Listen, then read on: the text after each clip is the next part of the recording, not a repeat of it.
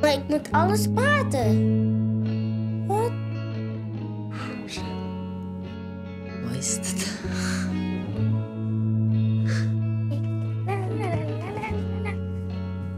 Oké, ik nu praten. Ik kan niet vertellen dit. Hallo, ik ben Sumea. Ik ben Zabi. Ik ben Fawad. Hallo, ik ben Jonas. Hallo, ik ben Tevin. Ik ben Noor. Ik ben Janjushi.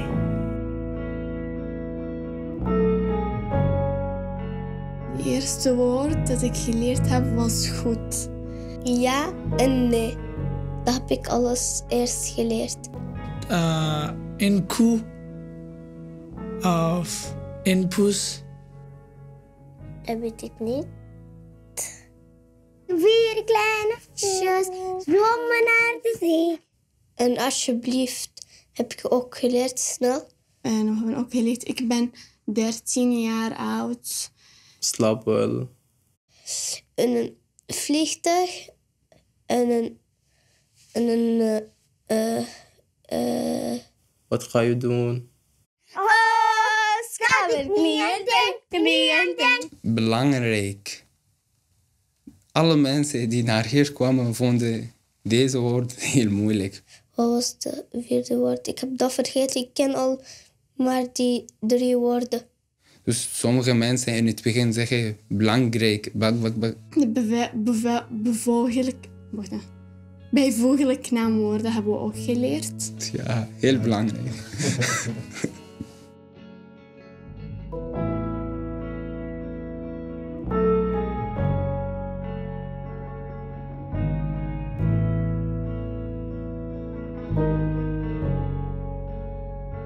Ik kom uit Tibet. Ehm, en Tibet was een superleuk en super mooi land. Tibet was een echt mooi land. De weer daar is echt kei mooi.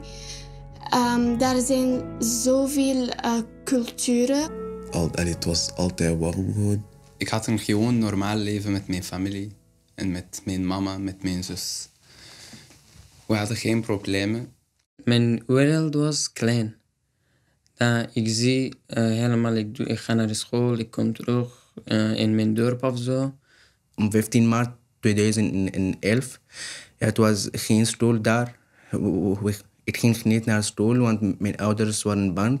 Als ik naar daar eh, ga, dan, dan eh, bij- eh, bijvoorbeeld, eh, kom ik niet terug en zo.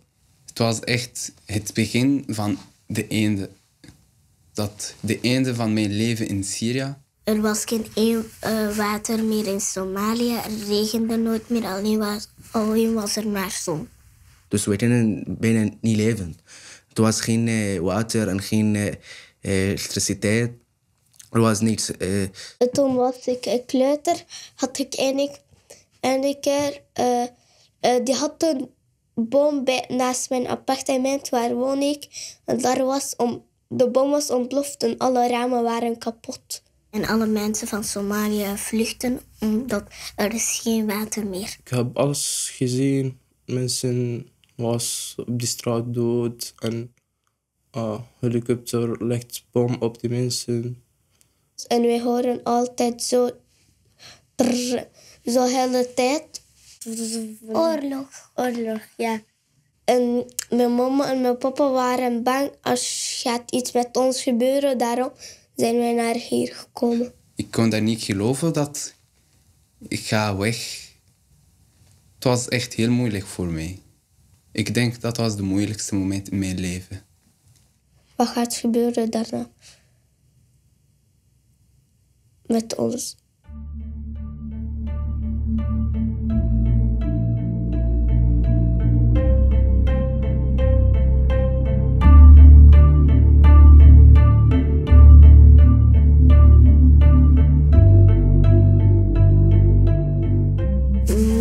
Hier komen omdat er was oorlog in Somalië. En ik, ik wist, mijn mama wist niet wat we moesten doen. Dus ik was met mijn papa. We wisten niet wat we moesten doen, dus we zijn met de vliegtuig vertrokken. In juni 2015 heeft mijn mama beslist dat Ahmed, je moet naar het buitenland gaan. Je moet vertrekken. Ik was gewoon direct aan het. Uh, ik was eerst met mijn familie van mijn dorp vertrekken naar Kabul of zo, de capital van Afghanistan. Dan vandaar, uh, ik was met mijn vader, ik kom samen naar Iran. Zo. Dan van Iran, ik kom alleen naar hier. Is gevaarlijk. oh. Ik heb ook in twee mensen gezien die, hij- die geen water en die heeft bijna dood, maar die gaat toch met ons wandelen lopen. En zo ik heb dode mensen gezien. Is echt moeilijk voor mij. Ik was echt klein. Naar Turkije. Eh, we komen met de boot. De boot is super gevaarlijk. Soms mensen zeggen daar in de zee, daar eh, duizenden mensen of zo dood. Elke dag, ik zag heel veel video's op internet voor mensen die in die zee vallen. Het was een klein boot en we waren met zoveel mensen. Het was heel druk en de mensen moesten lang zitten in de boot. En hier had ik echt heel veel schrik dat ik ga misschien dood worden in de zee. Die is zo in, Zo, in van de water. zee. Ja, in het water. Ja, van de water. Zo. In het water en die is kapot met ons. En we zijn toen gevallen in het zee. En dat is alles. Ja, zo. Kinderen en hele meisjes en vrouwen ze waren aan het huilen. En niemand was daar, alleen in de midden van de zee. Ik was schrik. Ja, van de water. Zo. Het was eigenlijk de laatste hoop, de laatste kans. Of kunnen wij dan verder naar Europa gaan, verder werken, verder kunnen leven? Of hier was het de einde. We was aan het zo naar beneden. Zo Ja. met water. Zo. De water was tot hier eh, in, in mijn lichaam, tot hier. Ja, dus ik kon, ik kon niet meer ademen. Vechten met jouw leven of zo. Dat is de moeilijkste. Ik heb mijn broer niet gezien. Eh, en ik weet niet waar was hij. Hij, hij was aan het zwemmen, maar ik weet niet als hij, als hij eh, nog leeft of niet. Dat was echt moeilijk. Maar wie heeft dat gedaan? Ik heb vier keer dat gedacht. Dat ik ga overleven. Ik ga niet meer leven. Maar wel, nog wel.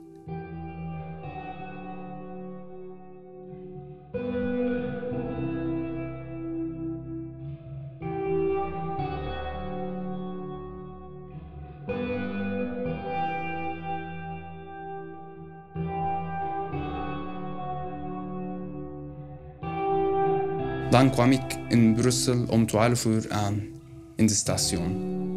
En toen was ik alleen en ik kon geen Nederlands spreken of Frans of Engels ook. Ik kom eerste dag naar België op Brussel. Ik zie die Brussel is heel mooi, maar ik kan niet praten met iemand. Ze, eh, ze hebben gezegd, welkom hier in België. Het was kei mooi en kei kaal. Ik wist eigenlijk niks erover. Eh, de mensen vragen mij, ik zeg alleen ja, nee, ja, nee. Ik wist niks om te praten, ik alleen ja, nee. Ik voelde me zo blij, maar ook... Ik wou ook een beetje teruggaan gewoon. De Belgen zijn echt vriendelijk eh, en zijn helpzaam. Dus ik, ik was echt zo. Bijvoorbeeld als ik iemand zie, dan hij lacht eh, eh, direct. Die maken zorgen voor de mens hier. In mijn land was dat een beetje minder respect voor de mens. Het feit gewoon dat, dat er veel minder zwarte mensen waren, dat was gewoon... Ik vond dat op het moment gewoon een beetje raar. Ik kon ook bijna bruin zijn, maar ik ben altijd zwart. Ik had een slecht gevoel. Het was nachts en ja, alle mensen weten dat Brussel s'nachts niet zo mooi is. ik was bang eigenlijk, want ik zag niemand op straat en ik was echt alleen. Zonder familie. En ik ken niet niemand of zo. Uh, wij hebben niet zo goed kleren en zo andere dingen. Oh, geen mama, geen papa. Wij missen ook toch onze ouders en broer of zus. En de eerste man was echt moeilijk in België. Ik moet sterk zijn of zo. Ik moet met helemaal proberen te, uh, met alle, met alle uh, moeilijke dingen in de wereld, te proberen te vechten, te sterk zijn. Ja, maar toch hier, hier is beter dan nu in Syrië. Ik wil nog leven, ik wil niet dood eh, gaan. En, en gewoon wanneer je naar hier opeens moet komen, is dat, dat is een beetje een verluchting. Maar ook iets dat je verliest gewoon. Ik wist niet dat, een, dat er drie officiële talen zijn er in België. Ik dacht gewoon dat er Belgische taal bestaat. Ik geloof later ook. Ik leer Frans of Duits. Ik moest nog de taal leren, naar school gaan. En ik, ik wist al hoe het ging op school in Congo. Het was al niet zo, zo uh, goed altijd voor de punten en zo. Dus ik dacht van, hoe gaat het dan hier, allez, hier lukken? Daarna toen was ik in school, eh, heb ik een beetje, een beetje geleerd hoe, hoe moet ik dat spreken. Ik heb doorgezet gewoon taal geleerd. Dat heeft niet zo lang geduurd. Gewoon op een jonge leeftijd is dat nog makkelijker om een taal bij te leren. Hier is het moeilijk om bijvoorbeeld huis of kamers of studio's te vinden. Ik heb naar die persoon gebeld om te vragen voor de huurprijs. En ik heb gezegd, hallo meneer, goeiedag. Ik wil jou vragen dat hoeveel is de huurprijs? Dan de meneer zegt, wat leeft? Ik wil eigenlijk um, tandarts of dokter worden. Ik wil later uh, automechaniek worden. Verzorgen. Mijn droom dat als ik kan tolk worden. Computer-ingenieur worden. Beste artiest zijn in de wereld. Politie. Politie? Ja, politie. Omdat kan je helpen iemand. En dan pakken en zo en dan doodmaken. Niet doodmaken. Niet هتقولي من وقتها يا قبل بياخد عنك فكرة عن وانت ليها Zij zegt dat doodmaken mensen. Nee, mensen Nee. in het gevangenis Ja. so, so, so, so,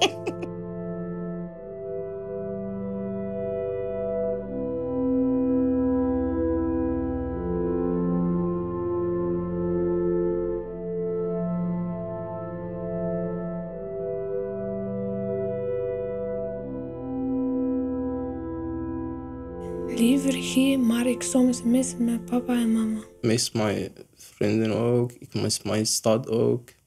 Mijn mama heeft een foto van mijn opa. Foto van mijn opa. En mijn papa. Ik maak zorgen heel veel voor mijn, zo voor mijn familie. Als die moeten naar hier komen. Hier, je moet denken altijd dat mijn familie zit in onveilige plaats. Mijn kinderen zitten in onveilige plaats. Die gaan naar de school en het is echt niet veilig op straat. Dus hier, wij leven echt met stress. We kunnen niet denken aan de toekomst. Wij proberen altijd ons beste te doen, maar S'nachts ik droom uh, voor mijn familie. Want uh, nu ik heb geen contact met mijn familie en ik wist dan niet waar ze zijn nu. Ik heb in Somalië een wens gedaan om nooit meer oorlog te, begin, te maken en eh, veel water komt. elke jaar, ik wens dat dit jaar gaat de oorlog stoppen. Dit jaar gaat de situatie terug hetzelfde als vroeger. Maar het probleem dat wordt elke dag nog meer en meer. Ik heb ook een droom dat er niet meer oorlog zou zijn en dat iedereen van elkaar houden. En dat we niet meer problemen hebben met elkaar. Dus Hoe moet ik nog verder leven? Dat gaat lukken, maar het is wel heel moeilijk en erg voor ons. En zeker als je zonder ouders. Daarom noem ik dat een straf. Of geen chance, geen geluk, van, geen geluk genoeg. Ja, soms mensen zeggen, je bent vluchteling, je bent zo, je bent zo, maar je terug naar je land, terug naar je land. Soms huil ik als dat iemand tegen mij zegt. Of als iemand bijvoorbeeld tegen mij zegt, je bent serieus, waarom heb je naar hier gekomen? Dan ja, voel ik zo triestig. Ik, ik voel gewoon dat mensen denken van... Hij is een vluchteling, hij kende mij zo en zo. Zo dingen. Ik weet niet, dat is, dat nogal negatief, maar ik verwerk, ik dat altijd naar de positieve. Like, zij kunnen er bijna niks aan doen dat ze zo denken. Soms zie ik mensen die mij niet graag hebben, want ik ben serieus, omdat ik, omdat ik naar België gekomen heb. En zeggen zo, waarom heb je naar ons land gekomen? Ik kom niet hier naar België om, om iets slecht te maken. Ik kom hier naar België om de land te bouwen met iedereen. Nu leef ik echt in, in ja, nachtmerrie. Ik kan... Ik weet niet wanneer gaat die nachtmerrie stoppen. Dat kan ook goed komen. Als we elkaar verstaan en elkaar meer leren kennen, zullen we zien dat we eigenlijk, eigenlijk hetzelfde zijn. We zijn mensen. We hebben eh rode hart. We, willen, we vinden het allemaal goed om selfie te trekken en ja, om te spelen en zo. We zijn gewoon hetzelfde. Dus ik wil aan iedereen zeggen dat jullie moeten, dat wij moeten elkaar beter leren kennen. Want dat is goed en dat maakt onze wereld nog goed en beter. Dus dat wil ik gewoon zeggen.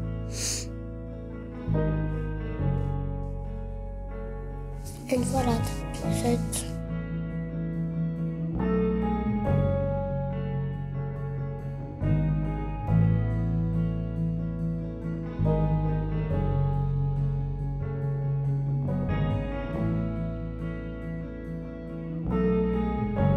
Ik ben Ibrahim. Hallo, ik ben Noha.